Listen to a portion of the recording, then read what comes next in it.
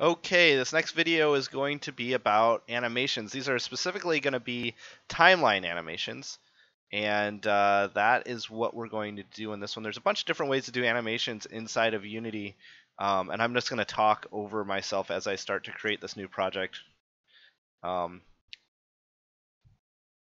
because this part is not very interesting. But it's the same way, you know, just create a new project. However you feel like Organizing your projects is fine with me. I don't really care. Uh, select that folder. This is going to be Unity 2D. Principles of this one um, actually apply to 3D as well. Most of the stuff is, goes both ways. Uh, timeline, animations. So what we're going to do in this one is show you how to move stuff around the screen using uh, an animation. So there's going to be no code in this one, um, just uh, using the Unity timeline, where we'll be able to set some keyframes. If you're familiar with uh, with the old Flash or Adobe Animate, I think is the same thing. That's it's pretty much what we're going to be working on. So we'll let this thing get loaded up. And then uh, after this, we'll probably do another video about scripting. We'll do another video about sprite sheets. Uh, but this is going to be like the most basic of the most basic uh, animation stuff. Okay, so I'm going to scroll out a little bit so I can see my scene. Uh, here's my main camera. I'm going to change the color uh, all the way to white. Just get rid of that blue. And I'm going to bring in one picture. We're just going to um, animate one image. So I'm going to go back to my glitch assets. Oops. Actually, I don't need this font window open. Uh, what do we want to move across the screen?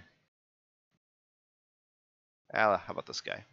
Drag them in to my assets. And, you know, we talked about images and other videos. If you need to go back and check that one out to figure out how to do this, you know, go for it. Uh, but some of this stuff I'll click through kind of quickly because we've already covered it. Um, I'll drag my vendor into the scene. Here we go. And if I hit play, we've got that. All right, very good start.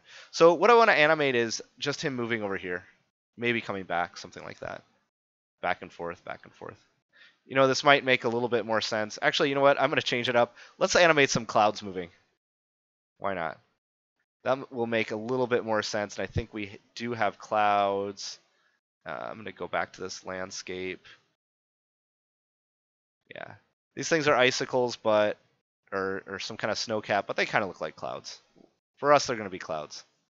I'm going to shrink it down. And I'm going to push it outside of our window. So when I hit play, we don't see it. And what I'm going to animate is this cloud going by like this. Look like the clouds are moving.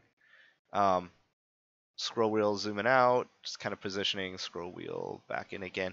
If you click your scroll wheel, you get the move tool and you can kind of pan around like this. So that's how I'm quickly doing that. Um, you can also click on the hand tool to move around, but I usually just click on the scroll wheel. There we go. Okay, so this is the thing that I want to animate. And um, so I am going to go, uh, we need to open up a couple more windows here. We've got all these different tabs. I'm going to open up another one. Window, Animator. And Window, Animation.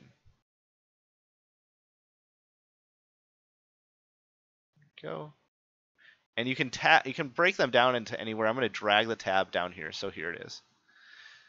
Um, and you can move your window around wherever you want to move it. That's fine and set everything up differently. Um, the animator, we're going to take a peek at it, but we're not really going to do anything with it this time. But I wanted to make sure that you know there's a difference between animator and animation. So back in my scene, I've got my snow building here, and it says to begin animating it, create an animator and an animation clip. So we'll say create, this will be clouds. Yes, it's snow, but we're going to call it clouds. There we go. And so now what I can do is I can hit the record button and I'm going to go right here and that's going to set our keyframe at time zero. And then at one second, we have another keyframe and I'll move it out here. So we have at time zero, we're here, and at time one second, we're there. I don't need to record anymore. So now if I hit play, there it goes. It looks great. Um, what I'm going to do is I'm going to zoom this out just a little bit, and I'll hit my record again. And at time zero, I want it to be way out here.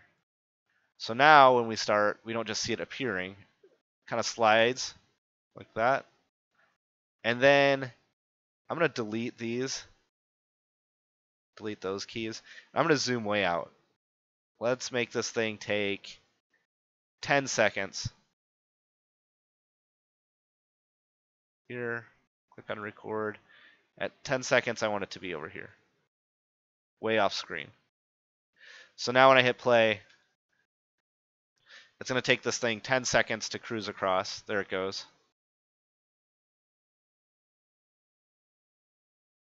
And then it should loop back around. And there it is again.